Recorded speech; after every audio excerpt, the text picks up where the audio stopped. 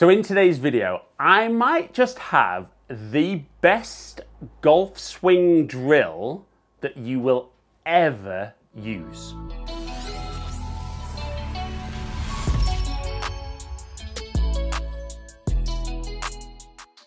Now, no pressure there then, is there?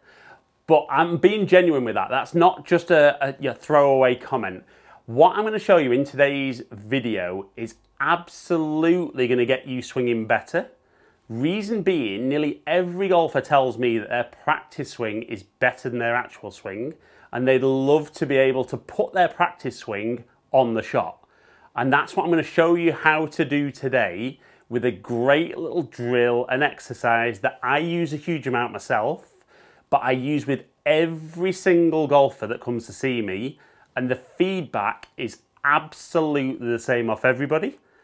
And therefore, I'm going to share that with you today and get you hitting the ball better than ever. But just before we get on to that, if you're new down to my channel, welcome down to Ali Taylor Golf. If you're a returning viewer, welcome back. Really appreciate you taking the time to watch my content.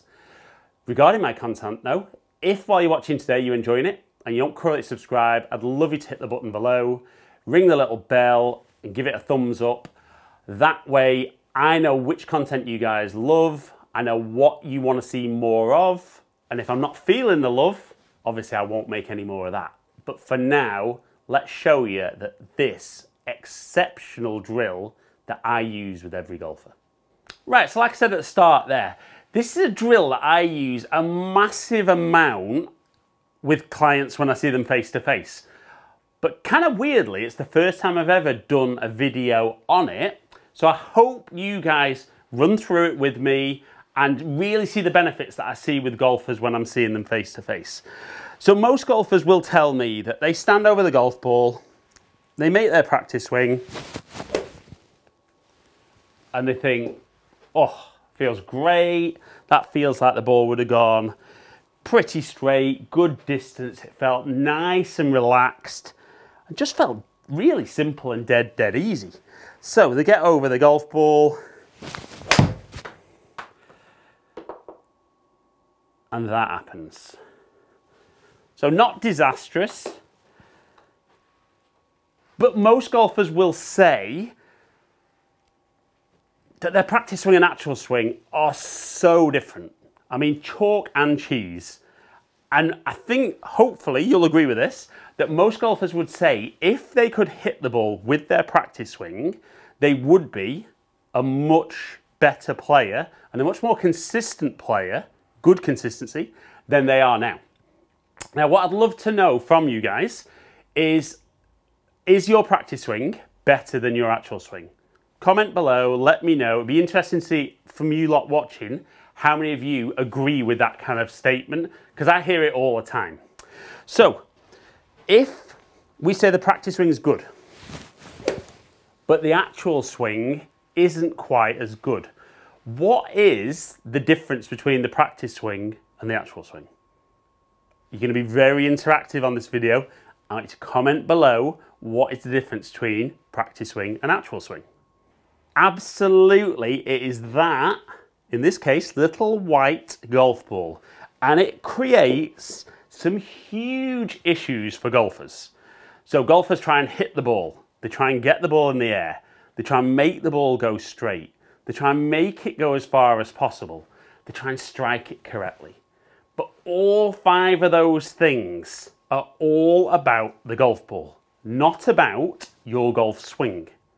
Now, what should make golf an incredibly easy game, and I think we'll all agree it isn't, is that that golf ball is stationary.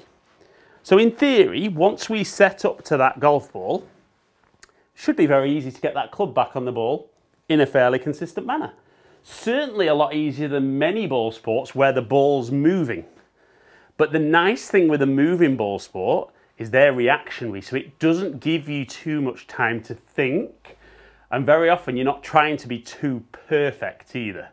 Whereas because that little golf ball is stationary, ooh, it gives you plenty of time to think about it, doesn't it? And that doesn't always help. So what if we had an exercise where we could swing, do the practice swing, and it feel great, but actually be able to concentrate exactly the same when we hit shots. So that's coming right now. So this is something I do with all my golfers. And we're basically going to get you practice swinging with your eyes closed.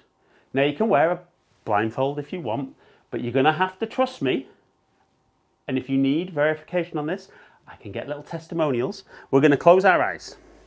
We're going to set up once we're ready, close our eyes and make a swing. Now the first thing a lot of golfers will notice there is they feel a little bit kind of off balance. And that's very much the case that they are. And what's happening is kind of where the pressure and the weight is in your feet isn't necessarily correct. So what I would say is make a few practice swings with your eyes closed and just don't try and do anything different. Just allow yourself to learn what that good balance feels like. Now that felt great.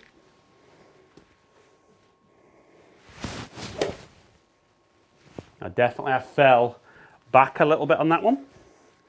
And one more. And that felt really good. And definitely for me, when I close my eyes, and I just, again, please comment when you're doing this and let me know, because I always like to know what different golfers kind of think and feel, because we're all different with that. But it definitely feels for me that if I take all the, the visual distractions away, external, I can really focus on the internal stuff that I'm doing. So if that's dead easy, which it is, and you might fall over on the first one or lose your balance, but we're now going to set up to the golf ball. And yes, you know it's coming.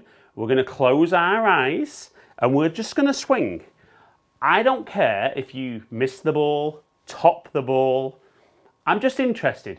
I want you to really focus on your golf swing, whatever it is you're thinking about when your eyes are closed. I want you to set up to the golf ball, make the same swing, maintain your focus, and then just give me feedback as to what the swing felt like. So if I set up to the golf ball now, and when I'm ready, close my eyes and make a nice full swing. That felt absolutely ripped. And I hope you can see that on the screen there. It's probably the straightest shot I've ever hit. So, do it. And I'm not promising your first one will be like that. But I would say a really huge percentage of the golfers I see, their first shot is fantastic. And the feedback I always get is, wow, how have I done that? Because I wasn't even looking at the ball. Boom, that's right. You weren't looking at the ball, you weren't focusing on the ball, because if we've set up well and the club just moves around our body nicely, we should collect the golf ball. Now, before you get super excited that you're to hit everything perfect, I want you to do another one. Setting up, when you're ready, close your eyes and swing.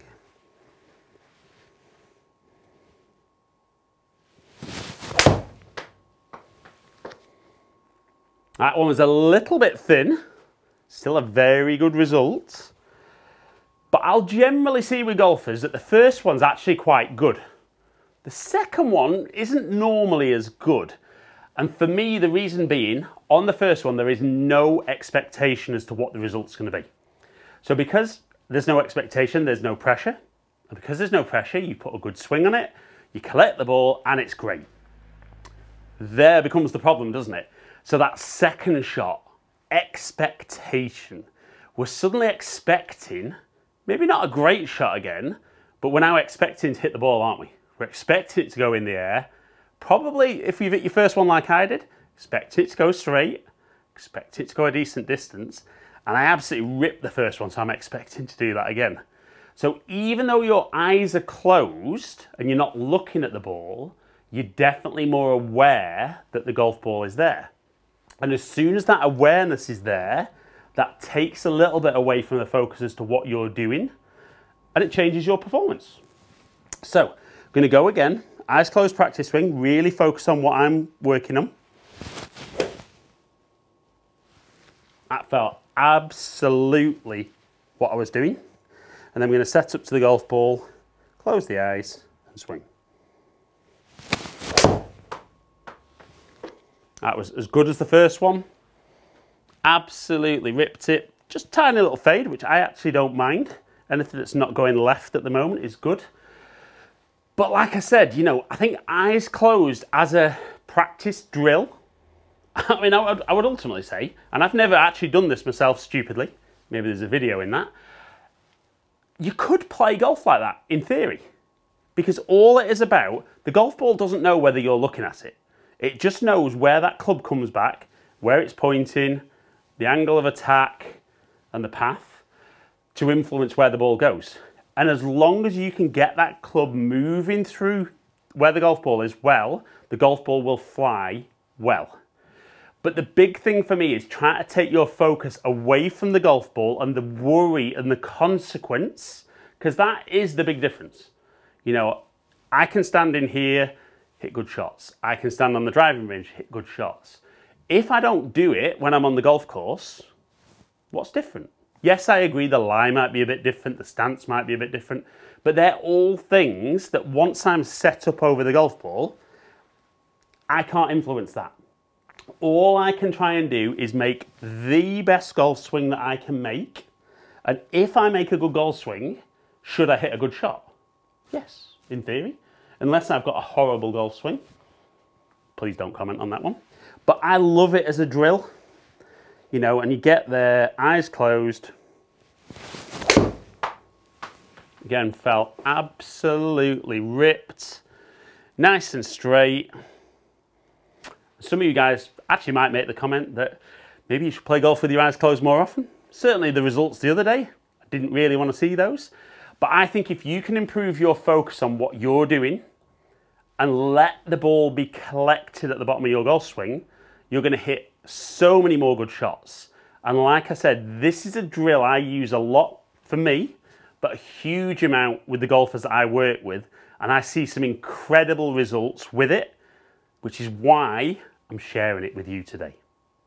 So guys, hope you've enjoyed today's video. If you have, like it and share it. Comment below. Please leave me some feedback you know, the more feedback I can get on these videos, the better videos I can get and the more I can make to help you guys improve your golf. If you have enjoyed it though, and you don't currently subscribe, love you to hit that button below, smash the bell, give it a like, and that way you'll find out whenever I drop a new video. Hopefully catch up with some of you guys down here soon. Stay in contact.